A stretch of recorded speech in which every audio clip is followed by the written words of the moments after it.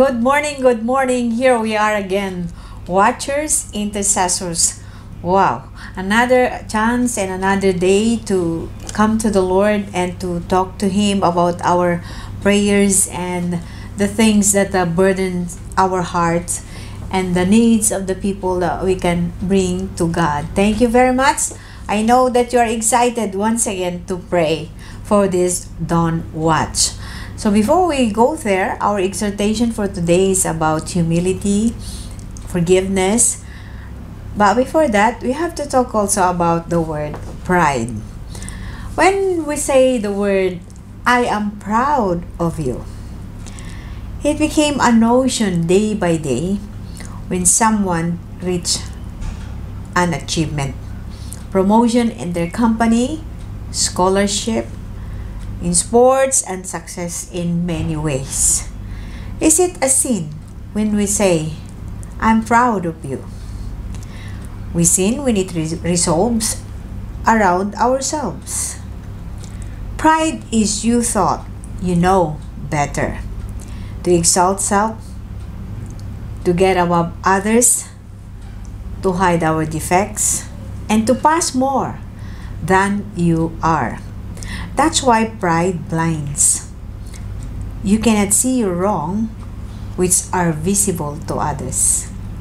Proverbs 16:18 Pride goes before destruction, a haughty spirit before a fall. The Apostle Paul also warns us by saying, If you think you are standing firm, be careful that you don't fall. Pride is the heart of bullying. The very nature of human conflict is rooted in elements of pride. Proverbs 13:10.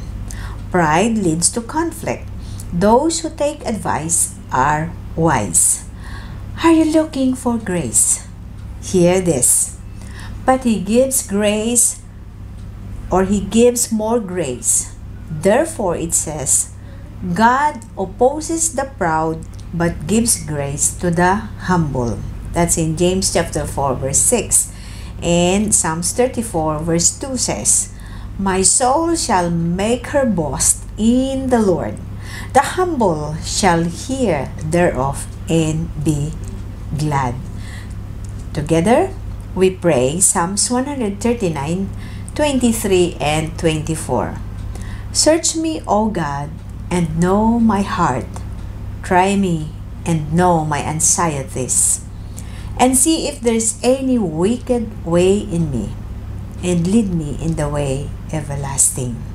We humble ourselves to you today. Forgive us of our pride. Change us, Father, and let our boasting brings glory to you, not ourselves. In Jesus' name, Amen. Let's be humble to God and to one another enjoy praying.